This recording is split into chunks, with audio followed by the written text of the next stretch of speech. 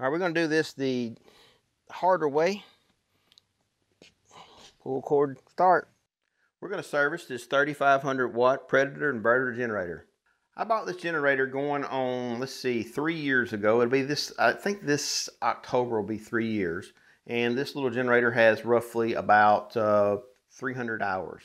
This generator, if you don't have your manual or you lost it like I have, one good thing is you can go to the Harbor Freight website and look up the manual. They, that's one thing they do for almost every tool that they have. Download the most uh, up-to-date manual, and uh, I have it all right here on this tablet. Things you're going to need is a spark plug socket, a 10 millimeter socket for the oil plug, uh, an extension, a ratchet, and a Phillips screwdriver, possibly some penetrating oil, possibly some carburetor cleaner, uh, a funnel that's longer, uh, I'm using Mobil One uh, synthetic 10W30.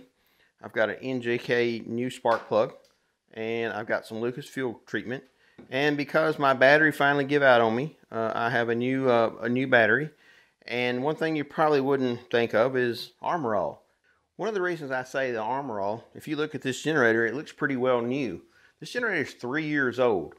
We keep it inside, out of the weather, other than when we're using it and I clean it up and armor all it pretty regularly. We have one panel in the front to service and this is the battery panel. It has one Phillips screw, uh, release that and it falls out the front. This is the panel that we're going to remove right now. This is the main access to uh, get into the generator and service it. There's two screws at the top that we'll take out. I've already took the liberty of loosening them to save time. And then you'll pull this little tab up here and there's a handle you just pop out and this thing has little little grommets here and here and little male protrusions that uh, I think there's three of them and that's what holds it on other than the screws and the little clips at the bottom. Let's show you around on the inside of the engine compartment. All right, this is a spark plug. Uh, it's a countersunk spark plug. Some people call it Hemi. Uh, we're only replacing this because we want to. There's nothing wrong with it. It still runs great. Down at the bottom here, there is the, uh, this right here is the drain plug for the oil. And this orange plug is the fill plug for the, for the oil. And then we're going to come over here. This is the carburetor right here. There's some uh, ports right here on these tubes to drain these out during the winter when you're not using it. This compartment right here is your air filter. Before you start uh, servicing this generator, make sure this your switch is in the off position. This is not only an electrical switch that turns it on and off, it also turns the fuel on and off. So when this is off, the fuel can't drain out. I'm going to use a set of soft jaw pliers to pull the spark plug uh, lead off.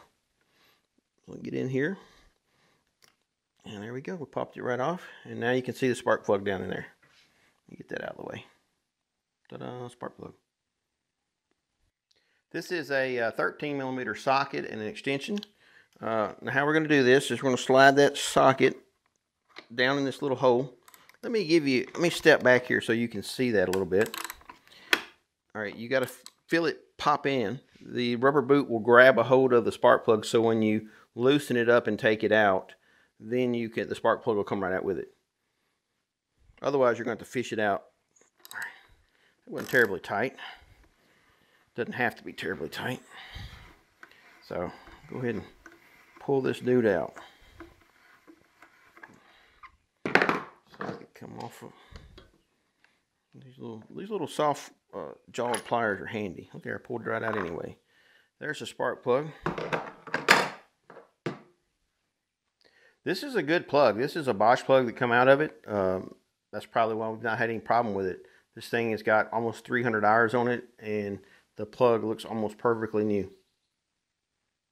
This is why the manual is so important. I went ahead and downloaded this. This is spark plug, the tight spark plug, uh, and then here's the uh, gap of the spark plug. 27 thousandths of an inch to 31 thousandths of an inch. On my feeler gauge, you know, there's different types of feeler gauges too. You have the little one for spark plugs. This is just a, you know, a multi-purpose feeler gauge. So I've got a 7 and, uh, and a 23 and it slipped right in perfectly and I think that is about as good as we're going to get. All right, we got the gap set here and now we're going to put a little bit of anti-seize on this spark plug. Uh, this is an aluminum head. Anytime you put a spark plug into aluminum head, uh, make sure you put some anti-seize on it. I think I put a little bit too much, but it'll be all right. I'll wipe it off. Run it around your threads right like this, and then put the spark plug in the hole. Now what this does is it keeps the, just as it the name suggests, it keeps the plug from seizing to the aluminum head. And that's very important because otherwise the next time you change a spark plug, when you unscrew it, you're going to take the threads out of the head. Old The old-timey engines with cast iron, that was not really that important. Uh, but now with these aluminum heads, I don't care if it's a car or what, make sure you put anti-seize on your spark plugs. All right, we'll put the spark plug in. We'll put it right back in there. Anti-seize is on. We're ready to go.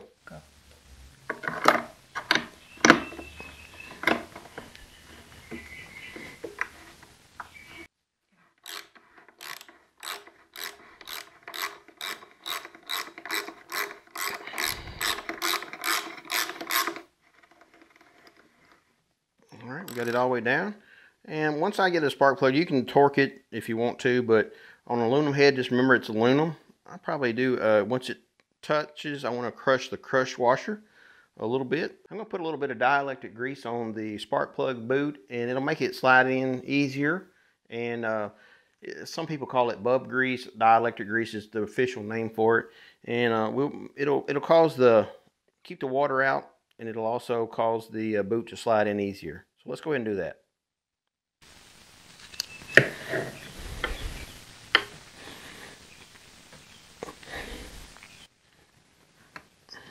Sure that gets in there good.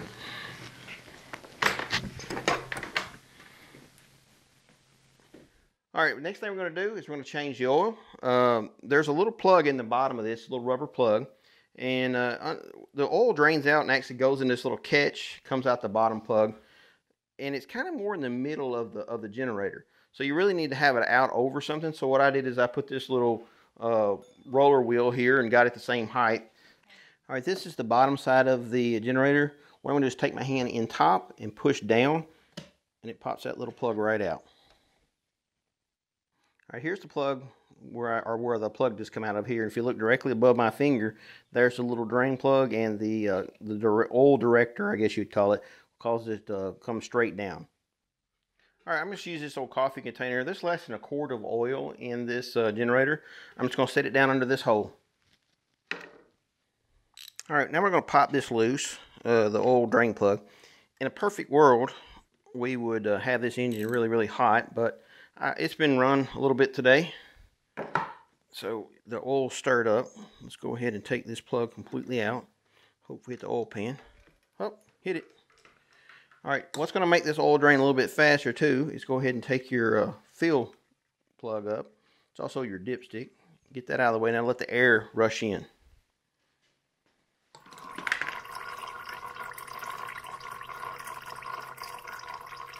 All right, we've got the manual here, and it says here that it's 10W30 oil, so we've got the correct oil, and it shows it's 20 fluid ounces, and that's that's fine, but what I'm going to do is put it on a flat surface and make sure it's to its fullest point.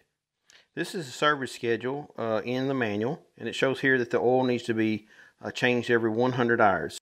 Just to put the oil change in perspective, uh, the manual says every 100 hours change the oil. We're using synthetic oil, and I, I'm still going to change it every 100 hours.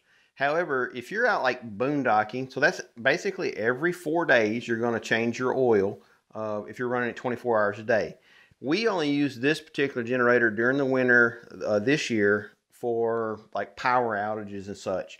And so right now we only have about 50 hours on this oil. I don't care. Every spring I'm going to change my oil, getting ready for camping and whatever happens, just do maintenance. All right, we're going to put the drain plug back in it. We've lost uh, about all the oil we're going to lose out of it right now.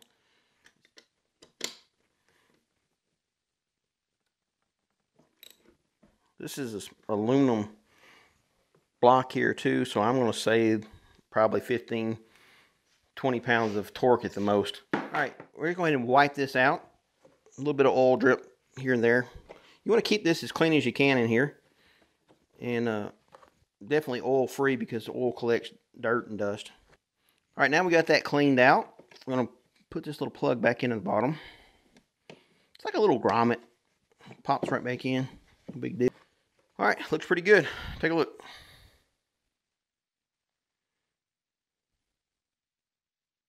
Three, four, five. So we gotta get down to 12 ounces left. So we're gonna take our funnel here and try not to make a mess. I'm using Mobil One uh, full synthetic oil. I've used it quite a bit in a lot of things and had really good results. oil really holds up. All right, it says about 20 ounces of oil. Uh, I'm, I'm pretty close to that right now, but I also was sitting here reading the uh, owner's manual and it says check the oil level. The oil level should be up to the edge of the hole as shown. That means this is level, and if you look right here, the oil is right to the very, very edge. Matter of fact, I had a little bit drop over, so it's not quite 20 ounces oil. Hope you can see that. The oil is right up to the very edge. It couldn't get any more full. This thing is on a perfectly level surface too, so this is about perfect. All right, we'll go ahead and put the uh, dipstick back in. All right, this is the air filter. We're going to go ahead and service this. It's got a little flip on the bottom. As I recall, the last time I did this, this is probably the hardest thing about it all. It's just a little foam piece here. And it looks in really good shape. Little oil there in the bottom. You see that? We'll get that cleaned up. This has got so little dirt in it. We don't use it in a dirty environment. It's only been in the campground and uh, sitting outside our house running when the power's out. So this is almost completely clean right now. Little oil at the bottom. You see that? I just squished it out onto the rag. Let's just blow by. All right, this got one little corner here that's uh, cut off. That goes to the back.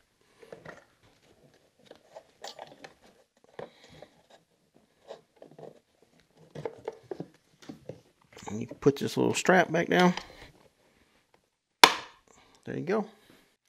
This filter is just a foam filter, so if it's really dirty, you can take it and um, uh, get you a, a, nice warm bowl of water, put Dawn dish detergent in it, and really wash it out good. Take your water hose, squeeze it out, let it dry, and that's really all you need to do to service that. This is the uh, spark arrestor on the exhaust, and all it is is a little mesh deal here that keeps uh, any kind of embers or anything coming out of the exhaust from coming out and catching a fire if you guys are going to go camping in, say, a national park or many state parks, they come around to check to see if you have this spark arrestor on your uh, generator. And if you don't, they'll make you turn it off. What we're going to do is use uh, some carburetor uh, cleaner. This is by Gumout. And basically what we're going to do is just spray this in there and take any carbon buildup. I'm not going to go crazy with this stuff. Just a, you'll see the black stuff come out of it. You're just washing this dude out. And that's all there is to that. I just want to blow that out. I'm going to look everything over, make sure everything's there. My little plugs, my little rubber booties, they're not broke because this is how it keeps the weather out. You want to make sure these are intact. You want to make sure everything is tight, nothing is nothing is loose. You can get parts for this generator at Harbor Freight. Uh, so if any of these little things are missing or break, you know, go ahead and uh, order order the right one. These are like the little circuit breaker covers you don't want water getting in these. Make sure your switch is in the off position here, and then you're going to pull your cord out. Go ahead and inspect your cord. Make sure there's no frays or anything. You don't want to have this go out on you at the campground or when you need it the most if the battery is down. So we don't use this very much, uh, and because it's electric start, but make sure you check this during your service. All right, I got this battery from AutoZone. The first battery that come with it lasted, I guess, for a year and a half. Uh, and the second one I got lasted hardly any time at all. Uh, and I keep these batteries on trickle charge. I'll take them out in the winter uh, and set them off to the side. And uh, this battery right here is the GSX7L. Uh, it's Duralast. I got it at AutoZone. Duralast Gold batteries. Uh, they're not the cheapest batteries, but uh, they seem to be a really good battery. So we're going to go ahead and install this battery. I'm going to put my little nuts in the bottom of the uh, battery terminal. You always put the positive on first. Uh, you never never put the never put the negative on first. If you put the negative on first and then put the positive on and you touch something with a screwdriver, you can arc it out. It's a good rule of thumb whether tank, tractor, automobile, boat, or generators. Always put the negative on last.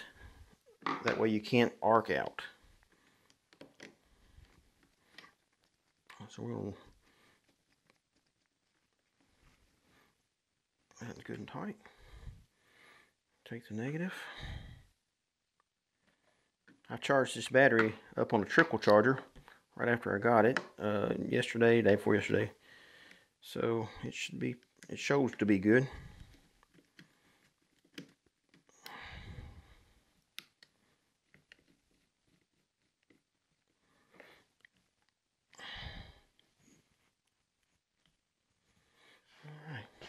So I'm to pull that little strap up, get it out of the way. Oop, hang on, let me pull that back out again. Make sure that goes between them battery posts so that that doesn't get hung up. There we go.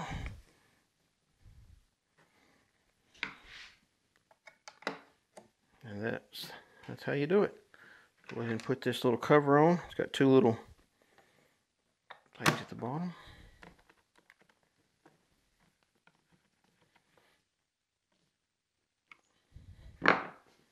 We're going to go ahead and look on the inside one more time. We're going to check everything. Touch your spark plug. Look at your your uh, uh, carburetor, your air filter. Make sure nothing's leaking. If you see that last little bit of oil, go ahead and wipe it off now.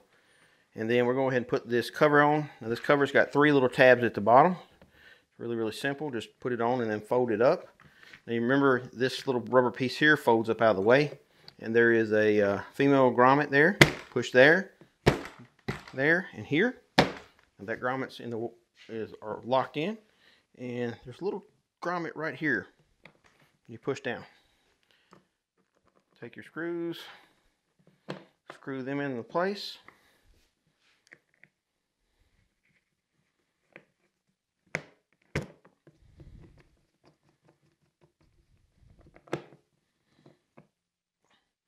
And now we have just serviced the uh, Predator 3500 watt inverter generator. All right, this is the uh, strainer that goes down inside the fuel tank. And this little red uh, tab here is where you fill the fuel up to. You're not supposed to fill it up anymore. I filled it up higher before and never really had any issue. But just for, for staying within the rules, we'll go ahead and fill it up to here. All right, we're going to do this the harder way. Pull cord start. See what it does.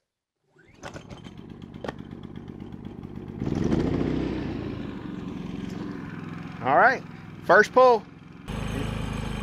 All right, this is uh, this is on economy mode. This run like most of your lights and stuff on your camper and your your basic stuff. Uh, as the load increases, the it revs up. Sometimes you want to have a little reserve so you can turn the economy off and it raises it up just a little bit. So when you put it under a really heavy load, then you can hear uh, the uh, generator picking up.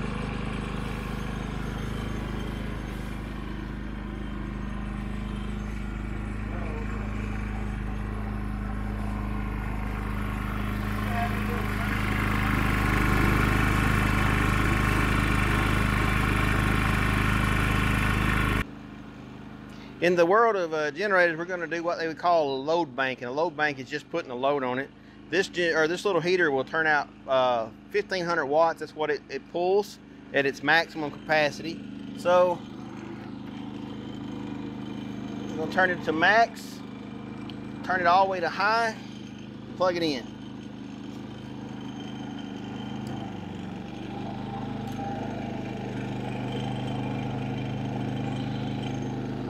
And the sound hardly even changed.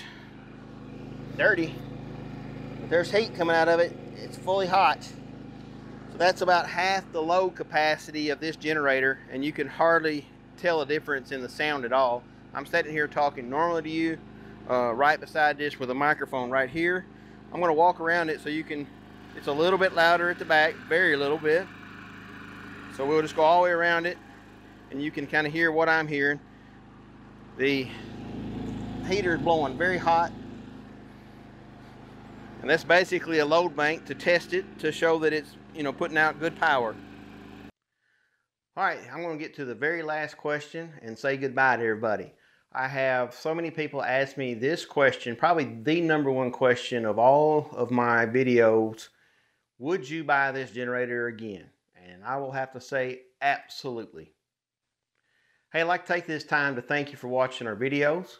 Uh, if you would, please hit the thumbs up, hit the subscribe button and the little bell. It really helps us out. God bless and have a great day.